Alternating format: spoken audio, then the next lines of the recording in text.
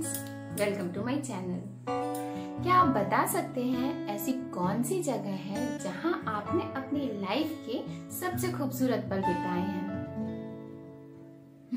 वो है घर। घर सिर्फ़ ईट की चार दीवारें नहीं होती हैं। घर एक ऐसा खूबसूरत खजाना होता है जिसे शब्दों में बता पाना काफ़ी मुश्किल है। शायद इसीलिए कहा जाता है कि ये पहले मकान था और अब ये घर बन चुका है। वैसे सजना सवरना टिप टॉप रहना सबको बहुत पसंद होता है। भाई, मस्त फिटिंग के कपड़े पहनकर घूमना किसे पसंद नहीं है? पर सच बताना, इस दुनिया में सबसे ज़्यादा रिलैक्सिंग घर में पहनने वाला पैजामा ही होता है। एग्री और नॉट कमेंट करके बताना। वैसे देखा जाए तो ये घर ही है जो हमारी पर्सनैलिटी को बिल्ड करता है। ये हमारे मन को और दिमाग को एक दिशा देता है, सोचने का तरीका सिखाता है और हमारे मन को इस बात के लिए तैयार करता है कि लाइफ में आने वाली कैसे भी सिचुएशंस को हमें कैसे हैंडल करना है। शायद आप भी मेरी इन बातों से सहमत होंगे। तो चलिए घर से जुड़ी ऐसी ही बातों को हम सुनते हैं कविता के रूप में, जिसे लिखा है मेरे फेवरेट पोएट उमेश ने। इस वीडियो के भी अंत में मैं आपके साथ इस वीडियो में यूज़ होने वाले आर्ट फॉर्म की हिस्ट्री बताऊँगी और कुछ इंटरेस्टिंग फैक्ट्स को शेयर करूँगी। तो चलिए एक नई कविता सुनते हैं। घर हमारा बना है तिनका तिनका जोड़कर। लकड़ी का गट्ठर हो या पत्थर। छत हमारी ये छाव की, चाहे हो ये पक्की या कच्ची। खुशियों का अंबार लगाए भरकर। खड़ी है दीवारें इसकी, इतनी मजबूती से जो बनकर।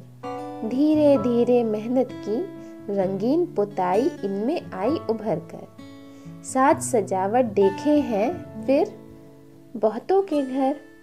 गुलदस्ता अपना फूलों का धागों के बंधन से बंधकर महकाए खिड़की के बाहर फिर ये गुलमोहर।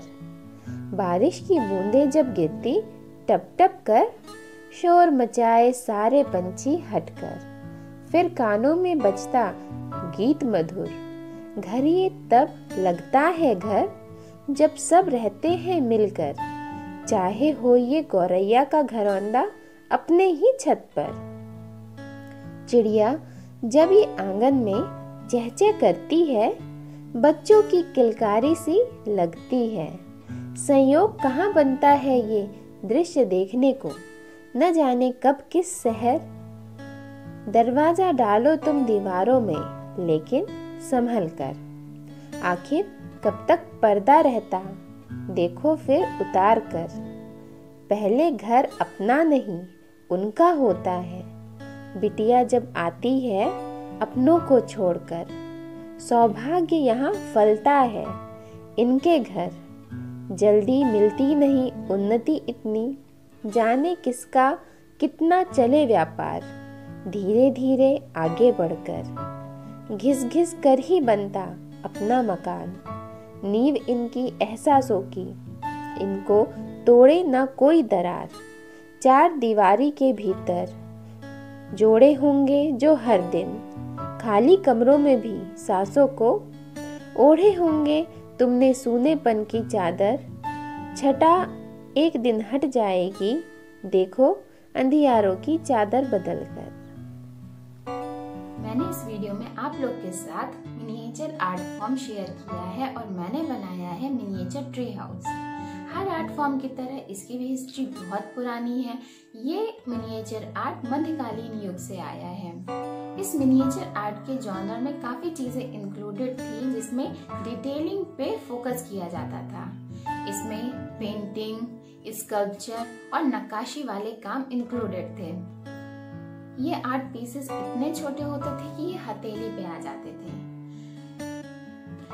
इन आर्ट पीसेस की खूबसूरती को देखकर लोगों ने इसका यूज़ डेकोरेशन के रूप में करना शुरू कर दिया।